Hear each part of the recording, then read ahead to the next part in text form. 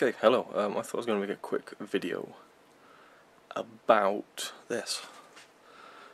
The Blu-ray station, as I dubbed it when I first bought it. And I'm going to reorganize it because, quite frankly, it's just gotten into a ripe state. And, yeah, I just need to sort a lot of things out. It's Connie's bags there. Right, so, yeah, I'm going to attempt to fix this up. And, um, won't make this a long video, I'll just quickly uh, film the results, probably in about half an hour's time, see how it goes. Okay, I'm done, and um, yeah, I'm happy with how it looks. Much more uniform, I got rid of all the DVDs and stuff.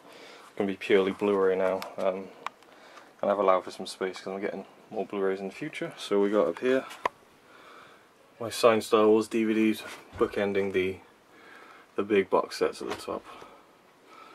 And there's Connie, she just made some food. And yeah, you should film it because it looks delicious. It, uh, yeah, and um, steelbooks were here, just like displaying whatever.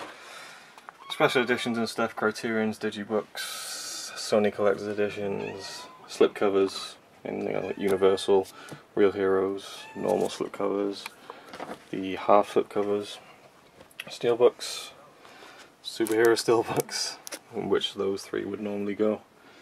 Disney steelbooks, normal Blu-rays, normal Blu-rays, a couple of box sets, Disney's, TV, Harry Potter big box sets, the superhero box sets, and music Blu-rays, PlayStation 3 games, and bigger things like the Inception briefcase. And I just filled this up with all the DVDs. So yeah. I might do like a full collection update at some point, but for now that's it. There you go.